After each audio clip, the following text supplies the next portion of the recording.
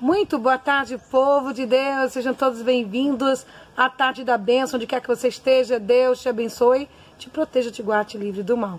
Fica aí conosco, separe o copo com água. Vamos orar, porque a palavra de Deus nos garante tudo pode ser mudado pela força da oração.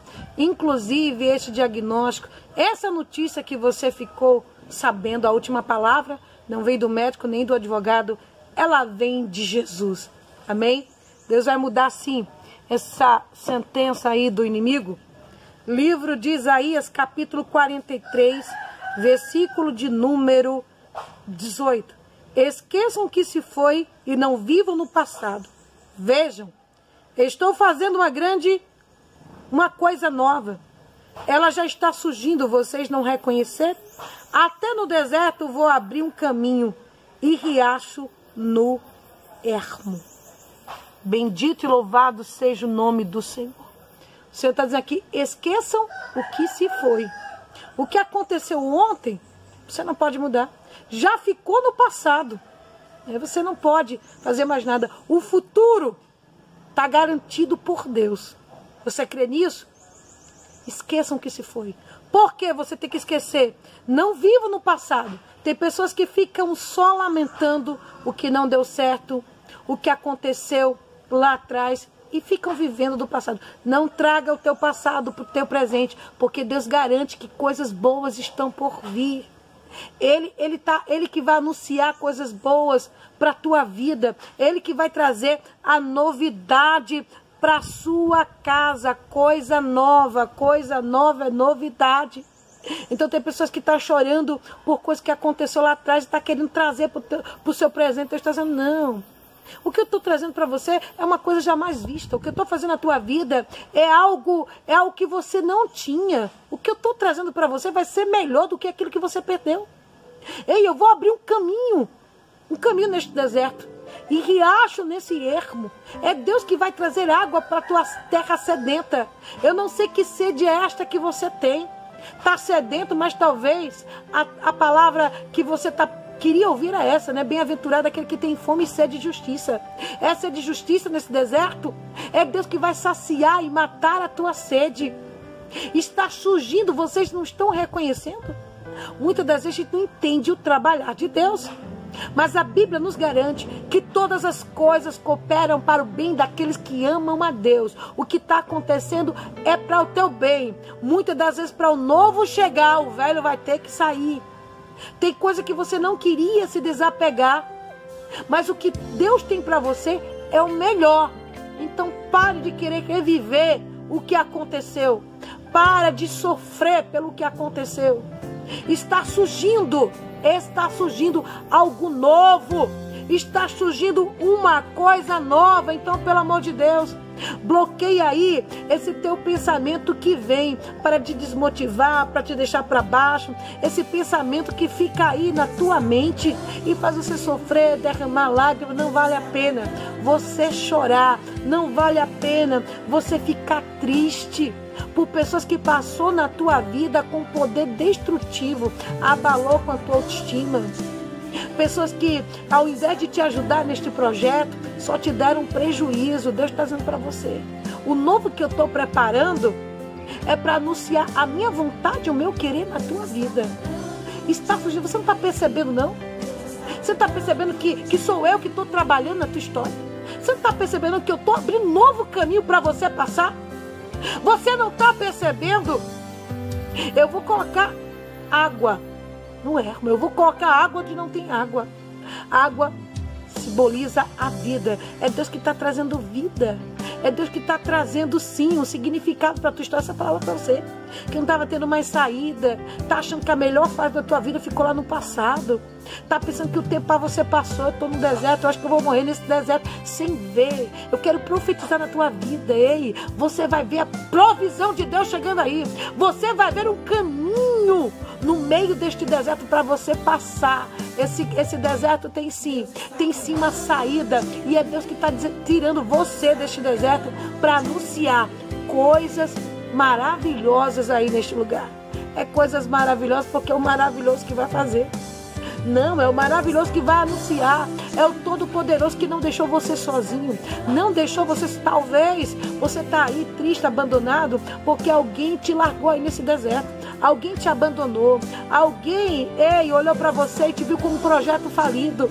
Abriu mão de você, mas eu quero profetizar que quem abriu mão de você, quem jogou você nesse deserto, vai ver a mão de Deus, a mão de Deus abrindo o caminho para você passar. A mão de Deus providenciando água para você beber. Vai ter água, vai ter caminho novo, vai ter algo novo que Deus vai entregar para você. Quem jogou você aí, jogou você para receber de Deus, é você que vai receber de Deus. A justiça de Deus está sendo provocada, a mão de Deus está agindo nesta tua causa. Aleluia. Essa palavra para você que está tendo sede de justiça. Você vai, você vai beber desta água. E você vai, ainda vai dizer: Pois é, Fizeram com o intuito de me prejudicar, mas me impulsionaram para um caminho novo. Jesus está dizendo para você: eu sou o caminho, eu sou a verdade, eu sou a vida. Quem anda pelos caminhos de Jesus encontra a vida. Não, você não vai ficar aí, não. Sem saber o que fazer da tua vida. Você não vai ficar aí desorientado, desorientada, não. Deus tem o melhor para você. Lá para Shuri Mikandara. Deus tem algo novo preparado para você. A Bíblia diz que as coisas que os olhos não viram e os ouvidos não ouviram são as coisas que Deus já preparou para entregar àqueles que o amam. Já está preparado. Já está preparado, sim. Você está na rota. Você está na rota certa. E é Jesus que está com você passando. E ele está dizendo para você, vai ter gente que vai ficar surpreendido vai perguntar como foi que no deserto sobreviveu, como foi que no deserto daquele achou um caminho, como foi que encontrou uma saída. Jesus é a saída, Jesus é a porta. E quem bater nesta porta e entrar vai achar pastagem.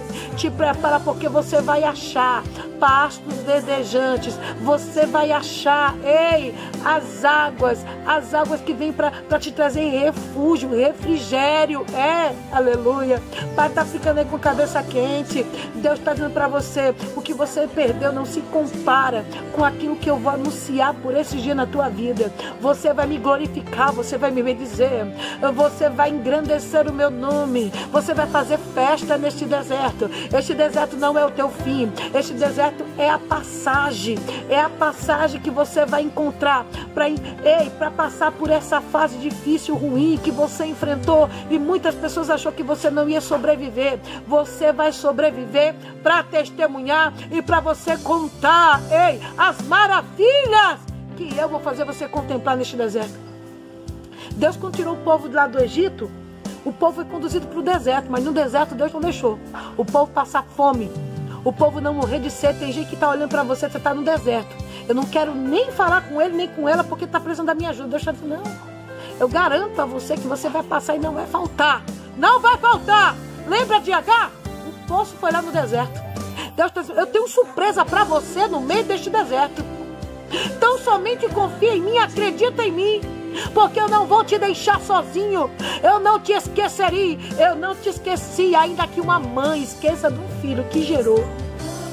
Pode uma mãe esquecer? Mas ainda que esta esqueça, o Senhor jamais quiserá de você. Você não está sozinho, não. Você não está sozinho nesta, não. O Senhor está passando com você, porque Ele diz: se você passar pelas águas, eu estarei contigo. Pelo fogo, também estarei contigo. É neste deserto que Deus está atravessando com você e você vai contemplar o cuidado de Deus, o carinho de Deus. E vai ser neste deserto que você vai tomar posse da novidade que Deus preparou para a sua vida já está surgindo. Será que você não percebe ainda? Olha para um lado e olha para o outro e veja que as pessoas que contribuíram para, para te jogar no, no, no fracasso, né? As pessoas que fiz, investiram pesado para te ver sofrendo, para acabar com a tua vida, vai contribuir. Contribuir para deixar o que está vindo para tuas mãos, que está surgindo. Eu quero para que você vai sair daí mais forte. Você vai sair daí, ei, você vai sair daí saciado, você vai sair daí com algo novo preparado pelas mãos do Senhor. Então, onde quer que você esteja, dobra teus joelhos daí, em nome de Jesus. Vamos orar. Meu Deus e meu Pai. Aqui eu quero apresentar, Senhor, teus filhos, teus servos, que estão aqui, Senhor, clamando e pedindo algo novo. Pessoas que estão tristes porque perderam a saúde, perderam o amor da sua vida, perderam algo, Senhor, que deixaram elas tristes. Meu Pai, anuncia a novidade, anuncia coisas novas, Senhor. Meu Pai, faça essa pessoa esquecer do passado, meu Pai. Façam, fazendo elas contemplar algo novo surgindo. Abra, meu Pai, um caminho no deserto e encha, encha esses riachos que estão secos. Meu Pai, tem pessoas que não têm mais lágrimas para derramar. Recompensa, Senhor, essa passagem difícil, mas elas não te deixaram. Estão aqui sedentas, precisando da tua justiça, da tua intervenção divina. Meu Pai, cuida de cada um deles, Senhor. Eu oro por aqueles que estão agora nas UTIs. Eu oro por aqueles agora que estão, meu Pai, depressivos. Eu oro e apresento agora os que estão agora no presídio, os que estão perdidos, Senhor aqueles que foram jogados, feito um corpo descartável, estão te sentindo, meu Pai, um nada ou ninguém. Meu Pai, abra caminho, faça eles contemplar uma saída, Senhor, e tira cada um desse deserto, mas tira, meu Deus, como uma pessoa que sobreviveu às afrontas, os ataques, as críticas, meu Pai, e que essas águas venham curar, essas águas venham renovar, e que essas águas, meu Pai, venham trazer esperança e vida para cada um deles. É o que eu te peço do Pai, do Filho e do Espírito Santo. Consagre esse copo com água. E quem beber deixe, receba a cura interior, receba forças, sejam revigorados e renovados. Que o Espírito Santo faça morada no coração de cada um deles. É assim que eu te peço do Pai, do Filho e do Espírito Santo. Beba da água consagrada.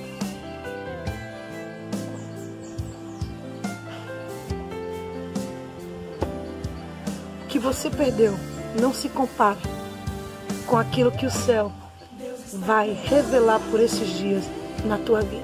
Amém? Vai ser melhor do que antes.